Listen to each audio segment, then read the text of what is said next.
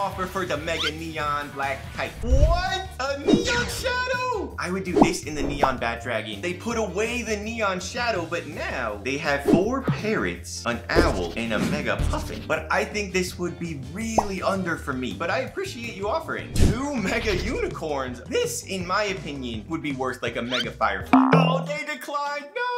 This could be really nice for like one color trade challenges and stuff, but I think right now we are trying to trade Mega Neon Black Kite. This is a turtle, an Arctic reindeer, and two albino monkeys. Would this be worth like an evil unicorn? Whoa, these are really great for if we're trying to do trade challenges. I don't think that the value is high enough though. This seems like the most solid.